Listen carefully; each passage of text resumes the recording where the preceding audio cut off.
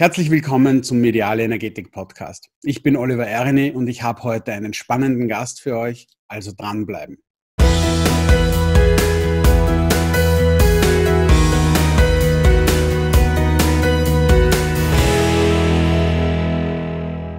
Mein heutiger Gast ist Markus Kutscheba. Hallo Markus. Servus Oliver. Gratuliere, dass du meinen Namen richtig ausgesprochen hast. Ja, vielen Dank. ist, das, ist, das, so wie bei Erini? Geht es dir da auch so? Also, ja, genau gleich. um das geht's ja dass ich sofort deine Aufmerksamkeit habe. Und wenn es der Name dann auch schon für jemanden macht, ist natürlich herrlich. Ja. Du bist Unternehmer mit einer Immobilienfirma, K. K. Living, dann K. Training, wo du, wo du Verkaufstrainings machst und Coachings und du unterrichtest auf der Uni und du investierst in Startups. Hat man da noch Zeit zum Leben?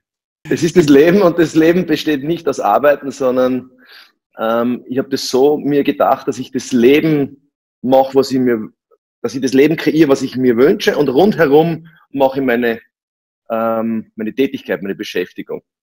Arbeiten ist, das ist der eine Teil und Leben ist der andere Teil. Also bei dir gibt es diese Trennung nicht. Na, weil bei mir arbeiten alle mit. Also bei mir arbeitet die dreijährige Tochter mit, wenn wir kuvertieren.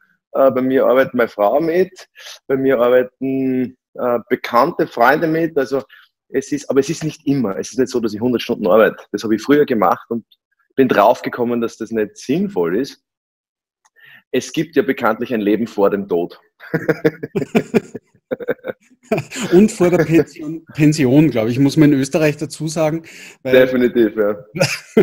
da gibt es ja leider diese, diese Pensionsfalle, wo ich auch ganz gerne immer drauf reingehe, dass die Leute immer nur warten, ich bleibe jetzt in der Mühle noch zehn Jahre und dann. Ja, ja, vielleicht, vielleicht erreiche ich es gar nicht. Vielleicht sterbe ich heute schon. Das kann ja auch sein. Ne? Ja, ich habe ich, ich hab ja gesagt, wenn ich eine Autobiografie schreibe, dann steht da drauf, an Pension habe ich nie gedacht. Das wäre der Titel meiner Autobiografie. Schön. Ähm, Schön. Ich habe ja, jetzt war ja Quarantäne und ich habe ja Quarantänelektüre gehabt. Also sehr passend. Ich habe von Stephen King das letzte Gefecht gelesen, wo er durch eine Grippepandemie die Menschheit ausgelöscht wird. also da habe ich mir gedacht, das muss jetzt sein, weil das war einer der Kings, die mir noch fehlt. Und auf meinem, auf meinem Nachtkastel ist dann auch noch dein Buch gelegen. Ich zeige das mal in die Kamera und ich werde es auch einblenden. So, das Buch Bestseller. Äh, mein Buchautor bist du auch noch. Und ich, ich habe das irrsinnig inspirierend und spannend gefunden. Und das Erste, das mich interessiert, du hast da drinstehen, Erfolg ist Abfall. Kannst du da was drüber sagen? Ja, prinzipiell ist dieses Buch entstanden, weil ich ja als Seminarteilnehmer auf der Suche war nach einem Verkaufsleitfaden. Und ich habe mir hunderte Trainer ausgesucht. Damals war ich angestellt bei einer Versicherung und ich habe es nicht gefunden. Ich habe den perfekten Leitfaden nicht gefunden. Erst beim selber tun bin ich draufgekommen, aha, so könnte es funktionieren. Und diese Thesen, die ich aufgesetzt habe, sind eher frech, eher um die anderen Trainer und Coaches, die glauben zu wissen, wie es geht, durch den Kakao zu ziehen. Auf eine nette Art und Weise. Ähm, Erfolg ist Abfall, ist, heißt ja nichts anderes als es fällt ab. Also den Erfolg zu visualisieren macht ja überhaupt keinen Sinn aus meiner Sicht, sondern einfach das tun, wofür du stehst, was dir taugt, was dir Spaß macht, ähm, was deinem Potenzial entspricht, was deiner Vision entspricht, aber nie einem Ziel. Die meisten arbeiten ja an einem Ziel und das funktioniert dann meistens nicht so gut. Oder sie erreichen das Ziel und sind zufrieden, wie sehr viele. Und Zufriedenheit ist ja gefährlich aus meiner Sicht. Und deswegen fällt Erfolg ab. Und du weißt ja im Vorhinein nicht, was abfällt. Ähm, und wenn du mit, dieser, mit diesem Gedanken in den Tag hineingehst, in deinen Vertriebsalltag, Unternehmeralltag, ähm, dann wirst du also nicht dankbar, was immer abfällt. Ich habe vor einem Jahr oder zwei Jahren den James Cosmo kennengelernt, Schauspieler von Game of Thrones. Da hat er den Chef der Nachtwache ges gespielt und bei Braveheart mitgespielt. Ein alter britischer Schauspieler. Und ich habe ihm auch gefragt, wie das jetzt so ist, im Alter so einen Starrum auf einmal zu kriegen über diese Fernsehserie. Und der hat gesagt, naja, um, ähm, you just do what you do and whatever comes along, comes along. Ich fällt mir nur gerade ein, äh, die Geschichte von Tobi Becker, Kollege von mir, ähm, der hat einmal, der hat bei der, der hat als Steward gearbeitet ähm, bei der Lufthansa und der hat ähm, den Michael Jackson irgendwann einmal getroffen in der Business oder First Class und hat ihn gefragt, ja, wie geht Erfolg? Wie, wie, wie, kann, wie kann man sich das vorstellen? Wie kann man sich das erarbeiten? Und der Michael Jackson hat irgendwie gesagt, listen, I just love music. Also tu einfach das, was, was dir entspricht, was dir Spaß macht, was dir taugt. Muss ja nicht immer Spaß machen. Ich tue ja auch sehr viele Sachen, die jetzt im ersten Moment nicht Spaß machen. Aber das große Ganze macht einfach Sinn. Deswegen bin ich sinnvoll beschäftigt und denke natürlich auch nicht an Pension. Weil wenn du in der Pension sinnvoll beschäftigt bist, dann bist du nicht in der Pension.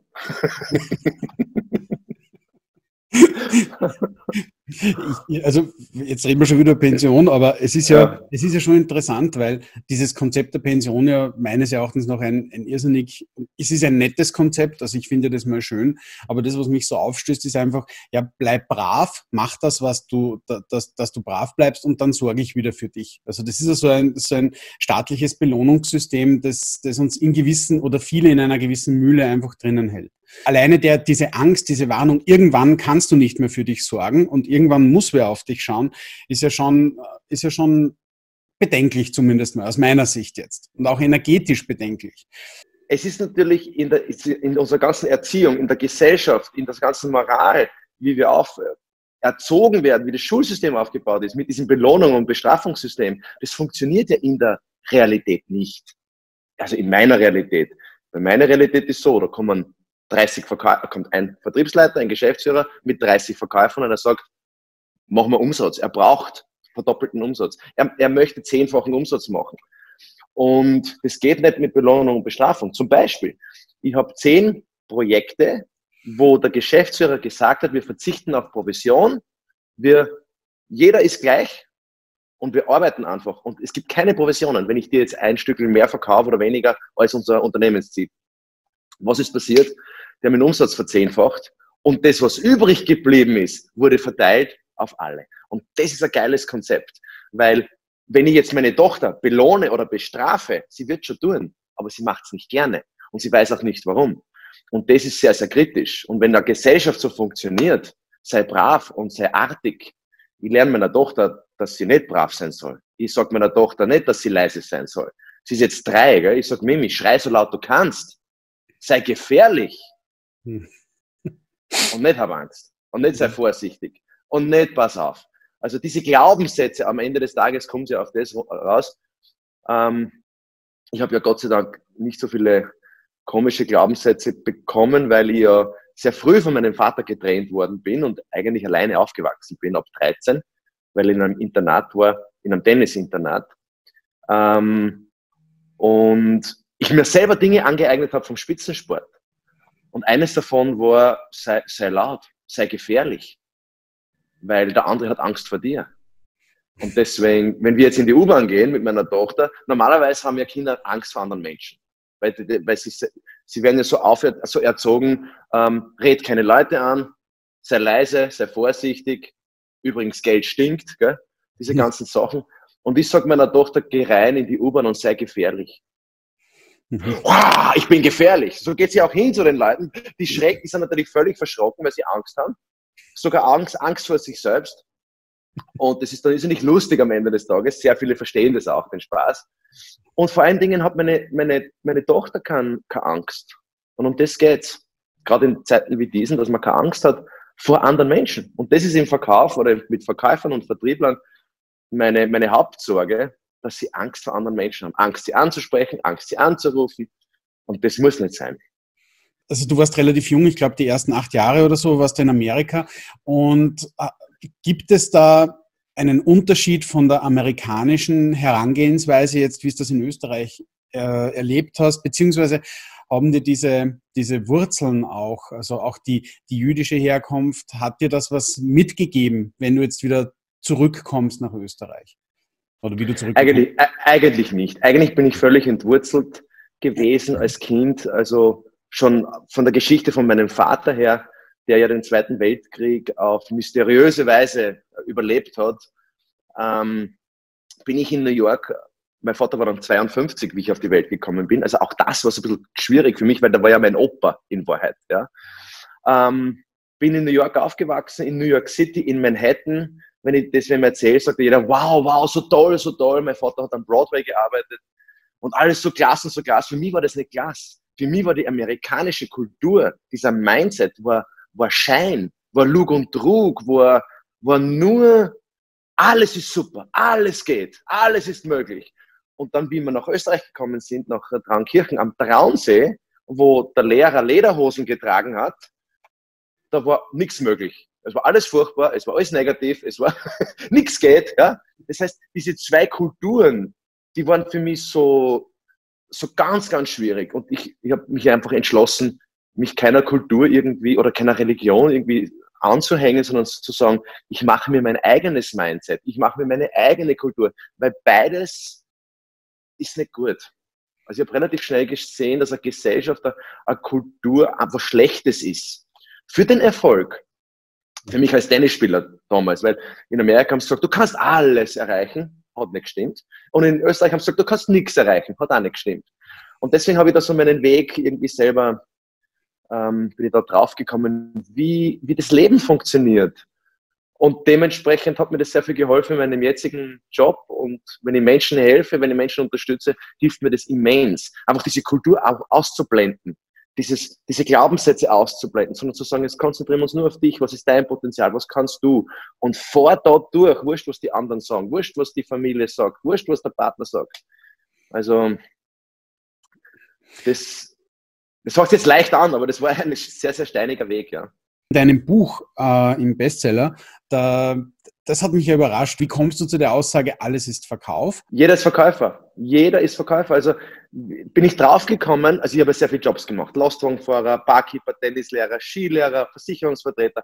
Und das hat nicht, nicht so richtig funktioniert. Ich war aber nicht ganz schlecht. Und ich habe dann so einen Tiefpunkt gehabt, wie ich keinen Job bekommen habe nach einem Studium. Ähm, habe ich keinen Job gekriegt. Ich habe 150 Bewerbungsschreiben also geschrieben, habe keinen Job bekommen. Und ich habe nicht gewusst, was los ist. Und dann habe ich mich beschäftigt mit Psychologie, habe mich beschäftigt mit Philosophie, mit Soziologie. Wie geht es? Kaufen, nicht verkaufen. Nicht wie verkaufe ich es dir, sondern was ist es, was du bei mir kaufst. Das ist einfach umgedreht. Weil ich wollte einfach wissen, wie das funktioniert. Das war spannend. Ist es heute noch? Gibt es kein richtig und falsch? Gibt es kein, so geht es immer? Und, aber es gibt das Blankensystem, wo du dich halt bewegst. Und wie ich meine Frau kennengelernt habe, also damals die Astrid gesehen habe, habe ich gesagt, das ist, das ist meine Frau. Und ich habe das erklärt und sie hat gesagt, na, das stimmt nicht. Also ich habe gesagt, ich bin der Richtige für dich. Du weißt es nur noch nicht. Und sie hat gesagt, ja, du spinnst ein bisschen. Ich sage, ja, sicher. Ja, ich spinne hundertprozentig. Und das ist einmal die erste Geschichte, wo ich draufgekommen bin, wenn ich einen Menschen überzeugen will. Wir spielen ja ein Spiel, wer hat recht? Das spielen wir die ganze Zeit. Wer hat recht? Und die Lösung ist, gib dem anderen einfach recht. Im Gefühl, in der Emotion, gib ihm recht. Ne? Und sie hat dann gesagt, naja, das geht nicht, weil ich habe einen Freund. Sag ich, das macht ja nichts, dass du einen Freund hast. Ich habe auch einen Freund. Du bist ja nicht verheiratet, oder? Und, und so bin ich halt draufgekommen, dass ein Aufreißgespräch ein Verkaufsgespräch ist. So, jetzt zum Beispiel, wenn meine Tochter um 3.30 Uhr aufwacht in der Früh, schreit sie so laut, wie nur geht, weil sie will, dass ich ihr die Windel wechsle. Sie ist Verkäuferin. Und sie weiß als Verkäuferin, dass die erste, der erste Schritt im Verkauf ist die Aufmerksamkeit. Das beherrschen Kinder wunderbar bis zum sechsten äh, Lebensjahr und dann in der Schule heißt es sei leise und dann wird das abgedreht. Und ich sage immer, wenn du was brauchst, wenn du was willst, schrei so laut, schrei so laut es geht. Mach aufmerksam und dann fang an zu fragen und dann schließ ab. Das ist so das macht jeder. Also jedes Bewerbungsgespräch ist ein Verkaufsgespräch. Unlängst bin ich bei Suben vorbei in der Nacht über die Grenze. Kommt der Polizist in Zivil, also mit der, mit, mit der Zivil-Sirene, ähm, hält mir auf. Jetzt bin ich Verkäufer. Ich muss ihm verkaufen, dass ich meinen Führerschein behalte. Er muss mir verkaufen, dass er, dass er mich straft. Und da gibt es ja Gesetzmäßigkeiten. Und ich habe den Führerschein nicht abgegeben. Obwohl er mich hätte straf, also gestraft hat er mich, aber er hätte meinen Führerschein auch nehmen können. Und das ist jetzt die, die, die Frage, wie macht man das? Und der Mindset ist nicht, wie setze ich mich durch oder wie gewinne ich, sondern der Mindset ist, wie können wir gemeinsam kooperieren, dass du das kriegst, was du brauchst und ich das kriege, was ich brauche. Und ich habe ihm das einfach erzählt. Ich habe gesagt, Chance, gibt es irgendeine Möglichkeit, dass ich zu meiner Tochter komme, weil ich bin Kindergartenbeauftragter, ich muss sie im halb acht Kindergarten führen. Und er sagt, Sie sind aber viel zu schnell. Herr Magister, haben Sie es eilig gehabt? Sage ich, ja, 100 Prozent. Ja, wissen Sie, wie schnell Sie gefahren sind? Sage ich, ja, Sie haben alles Recht der Welt, mich zu strafen. Ich zahle Ihnen alles, aber ich brauche nur meinen Führerschein. Gibt es eine Möglichkeit? Können Sie mir helfen? Er hat gesagt, ja, dann muss ich halt alle Augen zudrücken und haben Sie Geburtstag heute oder wie stellen Sie sich das vor? Sag ich, na, vielleicht habe ich ja Glück, ja. Du hast ja auch äh, in deinem Buch geschrieben, dass die meisten Leute zu viel reden, also in einem Verkauf und, und, und zu wenig auf den Kunden eingehen. Äh, kannst du da was sagen? Weil ich finde, das ist auch eine wichtige Lektion, die jeder eigentlich einmal ein bisschen verstehen sollte auch. Ja, also ich habe ja mittlerweile schon über, also sicher 30 Branchen trainiert. Da jetzt irgendwas, jetzt ein Beispiel zu kreieren, ist vielleicht ein bisschen unseriös, weil jede Branche ein bisschen anders ist. Aber wenn ich jetzt zum Beispiel meine Frau hernehme und ich möchte ihr verkaufen, dass wir Pizza essen gehen. Und sie möchte mir verkaufen, dass wir chinesisch essen gehen. Dann geht es schon darum, dass ich jetzt erst zuhöre. Also, und nicht ihr das reindrücke, was ich möchte. Das ist das Hauptproblem von einem Verkäufer. Der hat einen Druck von der Firma oder einen Druck von existenzieller Druck, dass er jetzt zu dem Kunden hingeht und sagt, ich erkläre dir das jetzt mit Argumenten und eins, zwei, drei, vier, fünf und ich verkaufe dir, woran ich glaube. Das ist ein Blödsinn. In Wahrheit geht es darum, was braucht der Kunde, dem richtig zuzuhören. Und der verkauft sich das ja eh selber. Ich muss nur wissen, wann und ich muss den richtigen Zeitpunkt erwischen. Und das ist von Kundentyp zu Kundentyp anders. Der eine kauft es gern schnell, der andere braucht wirklich Zeit. Der muss sich das überlegen. Der dritte sagt, hm, begleite mich durch diesen Kaufprozess durch und generell ist in meiner Beobachtung, wenn ich selber was kaufe, dass die Verkäufer zu viel argumentieren und zu viel über das reden, was sie selber glauben, das bringt halt dem Kunden nichts.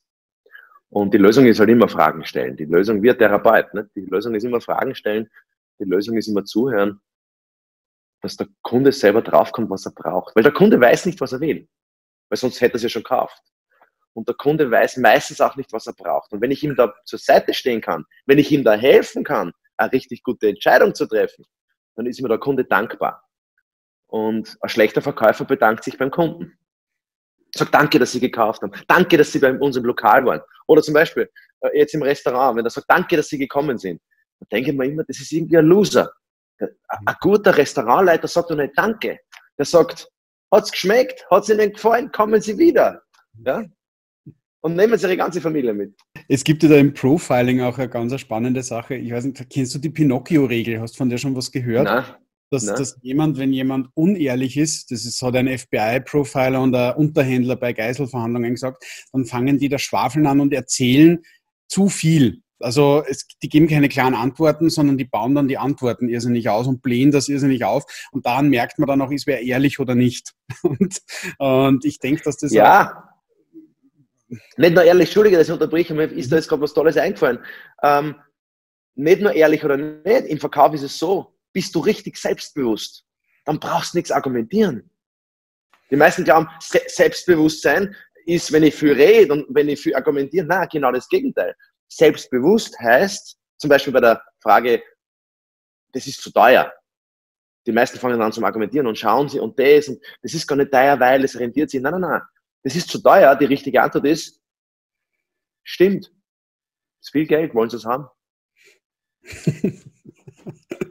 Und Selbstbewusstsein ist ja nicht Egoismus, oder wie siehst du Selbstbewusstsein? Weil viele, viele Klienten habe ich immer das, wo ich sage, steh zu dir und die glauben dann, sie sind egoistisch deswegen. Wie siehst du das? Ja gut, das ist ein Glaubenssatz. Du darfst ja nicht an dich denken, du musst ja an mich denken. Es sind meistens irgendwelche Rollkonflikte in der Familie, wo da irgendwas verdreht worden ist. Selbstbewusstsein heißt, ich bin mir selber bewusst, was ich kann und was ich nicht kann. Und was mein Produkt kann und was mein Produkt nicht kann und was meine Firma kann und was ich nicht. Selbstbewusstsein heißt nicht Arroganz. Selbstbewusstsein heißt nicht egoistisch. Also, wenn ich selbstbewusst bin, dann weiß ich, wie weit ich gehen kann und wenn ich mir selbst vertraue, dann tue ich das, was ich sage. Und wenn ich immer das tue, was ich sage, und immer das tue, also immer wieder, immer wieder, immer, dann bin ich selbst sicher. Und am Ende des Tages ist das, was du, Oliver, bei mir kaufst, wenn du mir was abkaufst, ist es meine Selbstsicherheit. Im Englischen gibt es diesen Begriff Certainty. Da gibt es sehr viele Untersuchungen. Was ist es, was der Kunde kauft, wenn ein Mensch zwischengeschaltet ist? Es ist die Selbstsicherheit zu dem, dass du das brauchst. Mhm. Und ich merke das bei meiner Tochter, wenn meine Tochter sagt zum Beispiel gestern, Papi, ich bin noch nicht müde, ich möchte noch nicht ins Bett gehen. Da wird ja oft diskutiert, wie weit kannst du ein Nein vom Kunden akzeptieren? Was heißt ein Nein? Äh, ein Nein muss ich akzeptieren, klar. Aber ist es wirklich ein Nein? Oder braucht der Kunde was anderes? Meine Tochter habe ich gesehen, weil sie Augen gerieben hat und ich habe beobachtet, sie ist einfach hundsmüde. Sie sagt aber nein, sie möchte nicht ins Bett gehen. Ich verkaufe ihr aber, dass sie mit schlafen gehen. Wie? Indem ich sage, indem ich das Gefühl der Selbstsicherheit habe, dass Schlaf für sie wichtiger ist als alles andere. Und ich sage, Mimi, ich weiß, dass du jetzt noch nicht ins Bett gehen willst. Hör zu, wir gehen trotzdem. Mhm. Weißt du, was sie sagt? Okay, Papi. Funktioniert nicht immer, aber sicher 70 Prozent, ja. Aber das geht nur, wenn ich selbstsicher bin. Wenn ich mir nicht sicher bin, dann spielt sie mich aus und dann müssen wir noch irgendwas spülen, eh. Das, das, ist ja leider das, was ich, oder leider, das beobachte ich ganz häufig bei Klienten, die, die so Troubles in der Familie haben. Also, wo sagen, Kinder sind undiszipliniert oder gehen nicht in die Schule oder wollen das nicht. Und das sind sehr äh, in sich sehr, sehr, sehr zittrige Leute, sehr unsichere Leute, die selber nicht ja. gescheit im Leben stehen. Ja. Und da gehört einfach, äh, auch bei nebenbei, ich möchte jetzt nicht Kinder und Hunde vergleichen, aber bei Hundebesitzern genau dasselbe, die undiszipliniert ist. Du musst in deiner Kraft stehen und du musst da klare Anweisungen geben. Und dann läuft das auch. Ja, weil es klingt jetzt so, also da, und das ist ja der Unterschied. Wenn du redest mit deiner Tochter, stehst du in deiner Kraft und, und bist nicht selber und sich und naja, vielleicht hat sie recht oder nicht, sondern du weißt, also du stehst zu dir und du bist ja da in deiner Kraft und das ist was ganz Wesentliches, denke ich. Nicht immer, also ich bin nicht immer in meiner Kraft. Manchmal bin ich unsicher und dann spiegelt sie mir mein, meine Unsicherheit und da ist nicht das Kind deppert oder sie will nicht. Nein, nein, nein, nein. Ich, in dem Moment habe ich ja eine Führungsrolle und ich führe sie in ihr Potenzial, ich führe sie dorthin, was für sie gut ist. Und das ist eine Riesenverantwortung. Das muss man nämlich ähm, wissen, was für sie gut ist. Und das funktioniert halt auch nicht immer, wenn man selber vielleicht einen Stress hat oder selber gedanklich woanders ist. Und deswegen muss man in Wahrheit schauen, jeder für sich, wie er in, oder sie in, in ihre Kraft kommt. Ähm, das ist nicht leicht.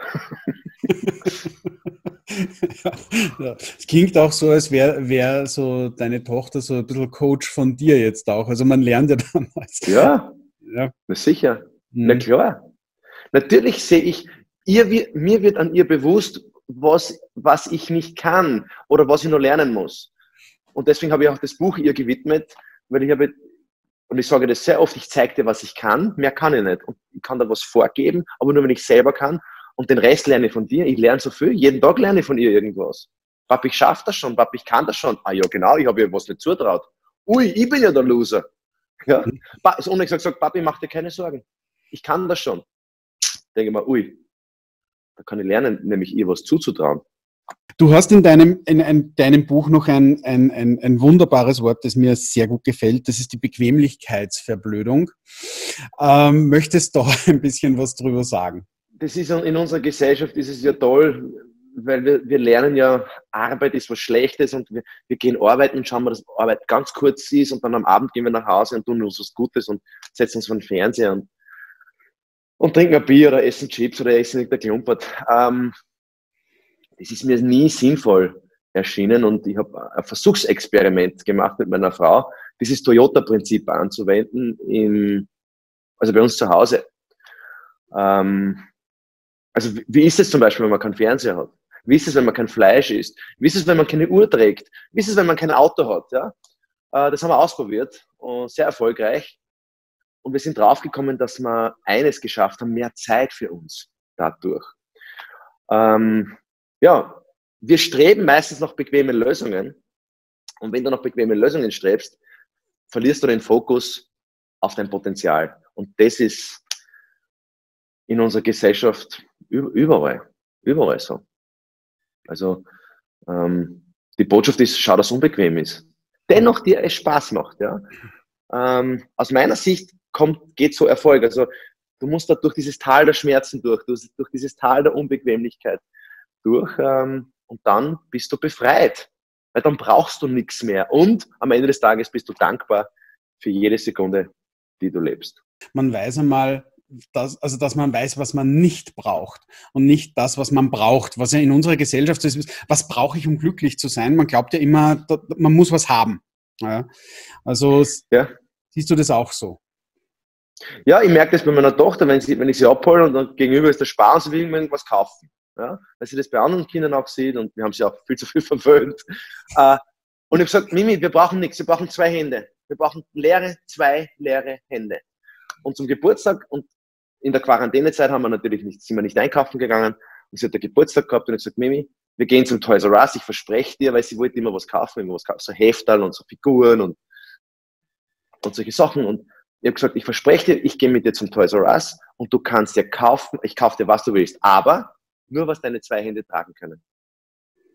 Da hat es halt nur zwei, zwei Sachen halt äh, gekauft. Die waren riesen, riesengroß, keine Sorge. Aber wer macht denn das? Weil die meisten sagen, na, geh dort nicht hin, weil du verwöhnst dein Kind. Nein, sie muss lernen, dass du eigentlich nichts brauchst. Im, im, du brauchst gar nichts im Leben. Das Einzige, was du vielleicht brauchst, ist, ist deine Gesundheit, ähm, weil sonst macht das Leben keinen Spaß. Wobei auch das, wenn du krank bist, auch da kann man sehr viel lernen. Ich, ich glaube nicht, dass ich irgendwas brauche. Ja. Ich habe aber sehr viel. Ich kann, kann, mir sehr viel kaufen und ich habe auch sehr viel gekauft, also für meinen eigenen Konsum, aber ich weiß nicht, ob, ob das alles überhaupt notwendig ist. Ja. Hm. Ich denke, das ist auch ganz, ganz ein wichtiger Punkt, äh, dass man eben auch, eben wie gesagt, also dass man, dass man das einmal lernt, dass alles in einem selber drinnen ist und dass Kreativität und Inspiration einfach einen gewissen, eine, ein gewisses Vakuum immer brauchen. Und wenn man dann immer den Fernseher anschaltet und sich berieseln lässt äh, mit irgendwas, dann ist das, dann, dann halte ich das für sehr kontraproduktiv. Genauso wie Radio und da wird immer nur geschwafelt und wieder dasselbe geschwafelt und das ist wie ein Brainwashing eigentlich. Und das finde ich sehr unvorteilhaft. Und bei, ja. mir war, bei mir war ja so der Punkt der, wie ich dann zu schreiben begonnen habe oder auch Stücke zu schreiben begonnen habe, da habe ich mal gelesen, naja, willst du dir fertige Träume von anderen anschauen und das konsumieren oder lebst du deine eigenen Träume oder schreibst du deine eigenen Träume nieder? Und das war für mich so der Funken, wo ich gesagt habe, meine Güte, wie viel Zeit ich schon verschissen habe mit irgendeinem Zeug und, und was eigentlich möglich ist. Wenn man sich das bei dir so anschaut, also dann wird es vielleicht auch greifbarer, wie kriegt man so viel unter den Hut, wenn man sagt, man, man, man nimmt das Wesentliche und das Wesentliche ist ja für dich auch viel Freude. Habe ich das richtig rausgehört? Oder Spaß am Leben dran. Also das, was Spaß macht. Ja, sonst mache ich es nicht. Sonst mache ich es nicht. Also der Grundgedanke muss Spaß machen. So die Grund, Vision muss Spaß machen oder mir entsprechen oder mir Freude bereiten. Also, aber der Prozess, nicht das, jetzt, das Ergebnis. Ja, der, der Prozess. Und es kann natürlich sein, dass im Prozess es hart wird und, und steinig wird und, und mühsam wird, aber auch das muss Spaß machen in irgendeiner Form. Ich sehe das ja auch bei meiner Tochter, sie baut einen Turm. Der Prozess ist lustig, sie ist konzentriert, wenn der Turm fertig ist, das ist das erste Handlung, was sie macht, sie, sie haut ihn um. Ne?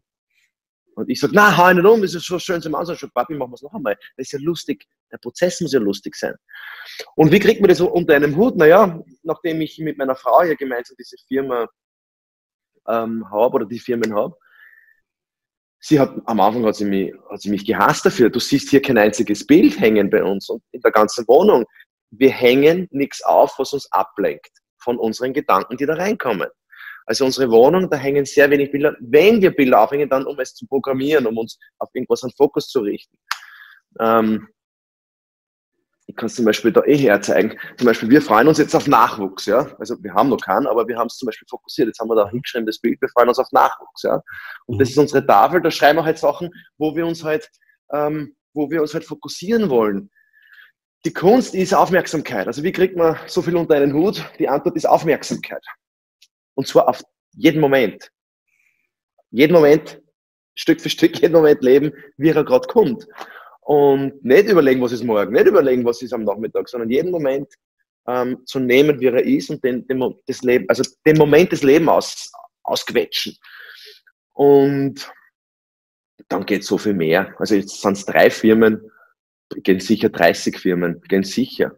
Das heißt nicht, dass ich jetzt 100 Stunden immer an dem arbeite, aber so diese Initialzündungen und, und einfach, ähm, indem du wach bist, indem du aufmerksam bist, indem du nichts willst, sondern indem du beim anderen dienst, dich hergibst.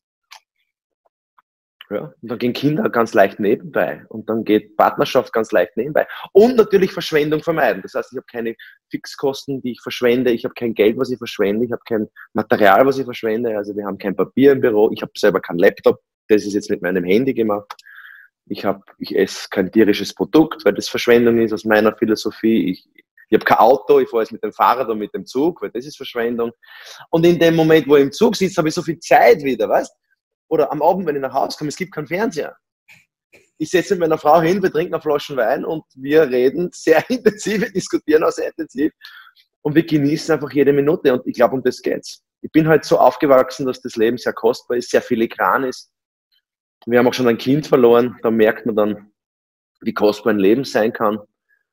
Und am Ende des Tages ist es Dankbarkeit und schauen, dass man nichts verschwendet. Ich tue mir auch manchmal sehr schwer mit dem Großdenken, weil ich habe schon sehr viel erreicht in diesen ganzen Trainingsbereichen und habe sehr viele Kunden und äh, müsste ja in Wahrheit nicht so viel jetzt arbeiten. Müsste ich nicht. Ich tue es aber gern und die Frage ist, wie denkt man? Wie, die Frage ist, wie gehe ich jetzt an diese Sache heran? Wie ist jetzt das Mindset? Soll ich jetzt groß denken? Soll ich klein denken? Soll ich realistisch denken? Und ich habe das alles aufgehört. In Wahrheit geht es darum, eine Entscheidung zu treffen. Also eine Entscheidung zu treffen, dass ich dreimal in der Woche Rennradl fahren gehe. Mindestens 40 Kilometer. Ich habe eine Entscheidung getroffen. Warum und wieso und weswegen ist egal. Willst oder willst nicht, für dich persönlich. Oder ich habe die Entscheidung getroffen, ein Kind in die Welt zu setzen. Das hat Konsequenzen. Ich habe eine Verantwortung. Mir selber gegenüber, ihr gegenüber. Oder ich habe mit einem Kunden jetzt gesagt, ähm, ja, wir machen das. Eine Entscheidung getroffen. Da kann ich nicht einen Termin absagen. Oder, oder zum Beispiel zu dir. Wir haben vor, weiß ich nicht, vor, ein, vor eineinhalb Monaten dieses, diesen Termin jetzt ausgemacht. Ich habe eine Entscheidung getroffen und, und ich bin da. Und um das geht's. Es geht gar nicht so sehr um dieses große Ganze was weiß ich, was für mich geplant ist oder was ich überhaupt noch denken kann. Das, mir ist das manchmal zu komplex. Manchmal gelingt's, manchmal kann ich mir es gut vorstellen und manchmal steige ich komplett aus, weil jetzt gerade in der Corona-Zeit, was willst du denn da groß denken? Da hast du überhaupt, überhaupt keinen Plan. Ja? Und witzigerweise, wenn ich aber eine Entscheidung treffe, dass ich die Verantwortung habe, meinen Kunden durch die Krise zu führen, dann rufe ich einen Kunden nach dem anderen an und es ergeben sich tolle Projekte, es ergeben sich tolle Spaziergänge, es ergibt sich vielleicht nicht so viel Geld, aber das ist ja wurscht. Das kommt dann eh, wenn's, wann der richtige Zeitpunkt ist. Und dann kommt viel mehr, als du jemals glaubst. Das ist ja auch was, was, was glaube ich viele übersehen. Das ist immer dieses, dass man zuerst eben aussehen muss, bevor man erntet und dass man immer mehr, also reinbuttern muss, zuerst einmal einen Vorlauf hat und nicht gleich immer schaut, jetzt habe ich das gemacht, was kriege ich jetzt von dir? Ne, ich, ich lerne das meiner Tochter jetzt gerade am Spielplatz. Wir sind ja sehr viel auf Spielplätzen am Nachmittag und da lerne ich ihr, dass es genauso schön ist, etwas zu geben, als etwas zu bekommen. Warum? Einfach so. Warum sollen wir das jetzt machen, Papi? Einfach so. Warum? Weil es Spaß macht, weil es schön ist. Es ist schön, wenn was zu geben, ohne was zu bekommen. Und du wirst dann belohnt, woher auch immer. Es kommt 100 Prozent. Und wann nicht in diesem Leben, dann im nächsten. Es ist ja wurscht. Irgendwann kommt's. Genau. und ja, und macht es dir eine Freude, einem anderen, einem anderen Menschen etwas zu geben? Aufmerksamkeit zu schenken, ein Telefonat zu geben, den zum Essen einzuladen, äh, dorthin zu fahren. Na, aber jetzt muss ich nach Bremen fahren. Wer weiß unlängst, ein anderer Trainerkollege, wer weiß, ob das was bringt. Sag ich, das weißt du nicht und das weiß ich nicht. Es ist wurscht, mach es trotzdem. Na, und da haben die Menschen so, im Englischen gibt es dieses Tit for Tat. Ich tue das und dann bekomme ich das. Das muss man ausschalten. Das geht doch nicht im Leben darum. Hm. Aber sehr viele haben nicht die Größe und nicht die Selbstsicherheit oder nicht die, die Erfahrung, dass das schön sein kann, weil die Eltern dir gelernt haben, du musst dich durchsetzen. Du musst, du nichts Unüberlegtes. Wenn du das tust, dann musst du ja Geld dafür kriegen. Nein, muss ich nicht. Was kriege ich jetzt für diese, für diese Stunde? Gar nichts. Und du auch nicht. Aber es wird wem helfen und dann irgendwoher kommt dann irgendein Anruf oder ein Telefonat oder vielleicht machen wir was gemeinsam. Wir wissen nicht, was morgen ist. Und diese Einstellung ist aus meiner Sicht, um die geht's. Schauen wir mal, hast du in Oberösterreich, schauen wir mal. Das ist die richtige Einstellung. Du, du setzt dich ja in Eiswürfelwasser, also in Eiswasser rein. Äh, ja. wie, wie oft machst du das und wie bist du auf die Idee gekommen? Also ich mache das zweimal die Woche. Ähm, auf die Idee gekommen bin ich deswegen, weil ich hatte hier bei meinem Bart so kreisrunden Haarausfall. Und ich war bei allen möglichen Energetikern, bei allen möglichen, und es war alles gut, aber das ist nicht raus, das ist nicht weggegangen. Ich war bei allen Hautärzten, äh, ich war bei allen, äh, wie heißt ähm, Internisten, Blut angeschaut. Alle haben gesagt, Pumperl gesund, alles in Ordnung. Keiner wusste, woher es kommt. So, ich weiß es immer noch nicht, woher es kommt, aber ich weiß, wie ich es wegbekomme. Und da gab es dann diesen Typen, diesen Iceman, den Wim Hof, der hat ja alle Weltrekorde gebrochen, der ist am Himalaya gegangen, also nackt und hat sich zwei Stunden ins Eiswasser ge gestellt und und dann dachte das ist so skurril und ich hatte immer Angst vor Kälte oder nicht Angst, es war un ungut. Ja, ich war immer warm, ich war immer ein bekennender Warmduscher. Und dann habe ich das einmal ausprobiert. Im Bach in Österreich, da wir so einen Bach zu Hause und der hat immer so 10 Grad, wird nicht wärmer. Und das war, das war irgendwie cool. Und dann habe ich das halt immer weitergemacht und habe diese Ausbildung gemacht beim Wim Hof. Und da machst du zuerst Atemübungen, wo ich mittlerweile drei Minuten die Luft anhalten kann und wo in diesen drei Minuten was Magisches passiert, du alleinst dich, also Körper, Geist, Seele kommt, tschack, in, in Reihe und Glied, auf Knopfdruck. Was kann man, ich habe mich so schwer getan beim Meditieren. Ich kann nicht meditieren, ich hasse meditieren, ich mag's nicht. Ab und zu mache ich es, ja, beim Laufen oder beim Radlfahren aber, oder unter Dusche. Ich bin nicht der Typ dafür. Aber wenn ich drei Minuten die Luft anhalte, sprich keine Luftzufuhr, das ist ein Prozess, da bist du, das ist wie Fliegen, das ist irre. Und dann gehe ich in, das Eisbad und versuche halt meine Atmung zu kontrollieren. Und dann bist du richtig bei dir.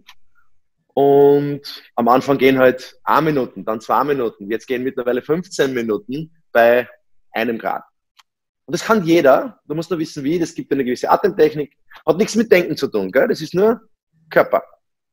Und das ist befreiend und, und da schöpfe ich die Kraft her. Und ich habe seitdem keinen Muskelkater, bin nicht übersäuert, äh, brauche weniger Schlaf, zuck weniger aus, wenn irgendwas ist. Ähm, und es ist viel, wenn du Kinder rund um dich hast und äh, Firmen betreust und Mitarbeiter hast und Kunden hast, dann kann man sehr leicht seine Kontenance verlieren. Und das passiert mir seitdem nicht mehr.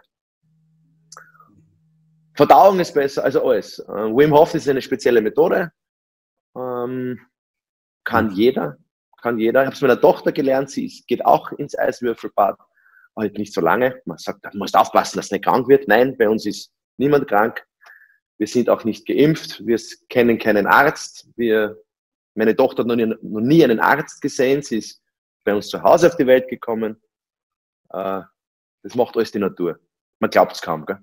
Es ist wieder, wir sind bequem, wir kriegen das zur Verfügung gestellt, das gibt's auf Rezept und da gibt's Gesundheit auf Rezept und das ist halt oft, oder man merkt erst einmal, wenn man selber was hat und du hast selber erzählt jetzt durch diesen kreisrunden Haarausfall bei dir, wenn man selber was hat und man kommt drauf, dass alle anderen auch nur raten und, und eben kein Patentrezept für etwas haben.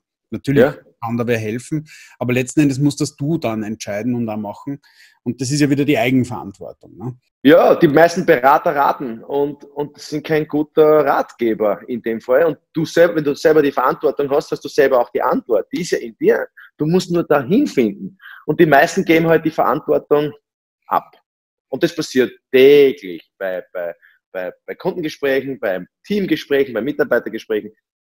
Es ist viel leichter oder es scheint leichter, die Verantwortung den anderen zu geben äh, oder die Schuld zu geben. Und das passiert ja jetzt. Das ist ja damals im, im Zweiten Weltkrieg passiert. Das passiert ja jetzt wieder. Corona ist schuld. Mhm. Was? Wir, wir reden jetzt über ein Virus, der eigentlich gar kein Virus ist, aber sagen wir halt, das ist ein Virus, ja, wenn wir es eh nicht wissen, wir sind, sind ja keine Experten. Aber keiner redet über Gesundheit. Keiner redet über das Immunsystem. Keiner redet über die, wo sitzt denn das Immunsystem? Weiß ja keiner, dass es im Darm sitzt. Weiß ja keiner, dass du deinen Darm wunderbar sanieren kannst, wenn du einfach nur Obst und Gemüse isst. Ich mache das zum Beispiel. Ich esse seit zehn Jahren schon vegetarisch, aber seit Februar in der Fastenzeit mache ich ja schon diese pflanzliche Experimente. Und das, meine Verdauung ist picobello. Das war, und deswegen ist der kreisrunde Haarausfall. Und wenn du durch, durch, diesen, durch diesen Kälteschock den Körper so ähm, schockst, dass die ganzen Gliedmassen quasi, quasi fast absterben. Das wird ja alles blau. Also bei, bei 0 Grad oder bei ein Grad geht ja das ganze Blut geht ja zu den Extremitäten. Und wenn du 10 Minuten oder 15 Minuten in diesem Eisbad, dann hast du das ganze Blut bei Herz und bei den inneren, inneren Organen. Und wenn du dann raussteigst, schießt du das Blut durch und das ist der Booster fürs Immunsystem. Und deswegen werde ich nicht krank. Ähm, aber über das redet ja keiner, weil das ist ja Blödsinn und das ist ja das, das ist wissenschaftlich bestätigt von Wim Hof, der arbeitet mit ähm, Unis äh, zusammen, um das Ganze zu beweisen, hat es auch schon bewiesen. Aber die Verantwortung abzugeben und zu sagen, naja, der McDonalds ist schuld, dass er sowas verkauft, seinen Dreck, oder der, weiß ich nicht, der, der Gesundheitsminister oder die Politik ist schuld. Politik ist nicht schuld. Das sind Sklaven äh, ihres Berufsstandes, die können nichts dafür. Der Politiker ist nicht schuld, sondern es ist jeder verantwortlich für das, was er isst, was er tut, was er denkt, was er, wie er handelt, wie er, wie er sich ernährt. Die meisten wollen das halt nicht und beschweren sich lieber. Hm. Sehr einfacher, ne? Wenn du jetzt sagst, okay, du, du, du hüpfst da in das ein Grad kalte Wasser, dann, dann wirkt das halt sehr extrem, aber das Spannende ist, ich habe vor Jahren mal so ein über, über schamanische Therapie, da ging es um die, die amerikanischen Ureinwohner äh, gelesen und die haben Krebskranke, also auch westliche Leute, die zu ihnen gekommen sind, in Bäche reingelegt also in das eiskalte Wasser und haben das dann fließen lassen und hatten super Erfolge bei der Tumorentwicklung dann. Was machst du, damit du auf neue Sachen draufkommst? Das ist eine super Frage. Du, das ist ein Prozess. In, Wahrheit ähm, geht man meistens irgendwas auf die Nerven und ich möchte das ändern und ich komme dann einfach nicht weiter und dann recherchiere ich weiter und recherchiere ich weiter. Aber ich weiß gar nicht, ob es um die Recherche geht. Ich glaube, es geht eher um die Erfahrungen. Was? Ich, ich pfeife mir nichts, ich probiere alles aus. Ich probiere alles aus. Ich habe ausprobiert in der Ernährung Kohlenhydrate weglassen. Ich habe ausprobiert äh, vegetarisch. Ich, hab, ich, ich probiere einfach irrsinnig gern Sachen aus, weil ich möchte wissen, was bringt mir einen großen Effekt. Und wenn ich den habe, zum Beispiel Feuerlauf, das war ja sowas. Einen Feuerlauftrainer kennengelernt, das war vor, vor 20 Jahren, wie ich bei der Versicherung gearbeitet habe. Und dann habe ich das auch angeboten in meinen Seminaren über, über die 600 Grad äh, Kohlen zu laufen und das ist nichts Schamanisches oder nichts Hokuspokus, das ist, das ist was Energetisches. Da kriegst du Kraft, wenn du darüber gehst. Das ist einfach Adrenalin pur. Ne? Und genauso ist es mit einem Eiswürfel. Oder es gibt ja, das ist ja nur für mich, ich sage nicht, jeder soll Eiswürfel baden. Aber wobei, was ist denn, wenn, wenn ein Kind hinfliegt und haut sich die Zähne an? Was tut man denn automatisch? Tut man sofort Eiswürfel rauf. Also auch das ist interessant. Ich, möchte, ich möchte gar keine Ideologie, sondern ich möchte einfach aufrufen, probier, probiert es einfach irrsinnig viel aus. Die meisten probieren nichts aus, weil, weil sie Angst haben, das könnte ihnen ja helfen. Meiner Sicht wollen Leute Probleme haben. Also sie wollen ja nicht die Probleme lösen. Ähm, und ich will, ich, will, ich will ein Problem lösen und dann will ich noch ein Problem lösen und ich möchte eigentlich ganz große Probleme haben, damit ich ganz große Lösungsschritte mache in meinem Leben. Ich bin einfach ein Fan vom Entwickeln und Weiterkommen und Gas geben. Das kommt aus einer tiefen Dankbarkeit im Leben. Das haben vielleicht nicht alle, müssen auch nicht alle. Aber um deine Frage zu beantworten, ich glaube, es geht um die Erfahrung. Ich bin einfach, ich möchte einfach viele Erfahrungen machen, weil ich weiß, dass mein Leben irgendwann einmal enden wird. Ich habe das einmal bei einem Vortrag gesagt, ich habe gesagt, du wirst sterben, so wie mein Vortrag angefangen, weil irgendwer mich vorgestellt als Motivationstrainer und das möchte ich nicht, weil ich motiviert niemanden. Und die haben, haben aber nicht locker lassen, weil ich das unterrichte und ich habe gesagt, ich habe angefangen und gesagt, der größte Motivationsspruch aller Zeiten ist, also willst du motiviert werden? Willst du motiviert werden? Größter Motivationsspruch, du wirst sterben. und das Schöne daran ist, du weißt nicht wann. Und, und mach doch die Erfahrung. Probier ins kalte Wasser zu springen. Es ist einfach cool. Ähm, diejenigen, die das gemacht haben in meinem Umfeld, ich habe sehr viele angesteckt, die sind dabei geblieben. Also der Effekt heute ungefähr ein, eine Woche an. Das Immunsystem ist unschlagbar, unzerstörbar, weil die ganzen Körpersäfte fließen, weil die Blutkörperchen, da tut sich einfach so viel. Ich bin jetzt kein Experte, aber ähm, schaut's nach. Wim Hof ist, der, ist dieser Typ und hat auch Krebs geheilt dadurch. Also ich weiß nicht, ob er, ob er jeden Krebs heilt, ja, aber er hat sehr vielen geholfen und er selber hat seine Frau verloren und hat vier Kinder gehabt und hat nicht gewusst, wie er mit dem Stress umgehen soll und ist auch nur durch Zufall draufgekommen ähm, in dieses kalte Wasser. Ich, ich habe angefangen mit kalt duschen, dann habe ich mich in die kalte Badewanne gesetzt. Jeder hat gesagt, du bist ja verrückt, du bist der Depp. Ja, mein Gott, nein.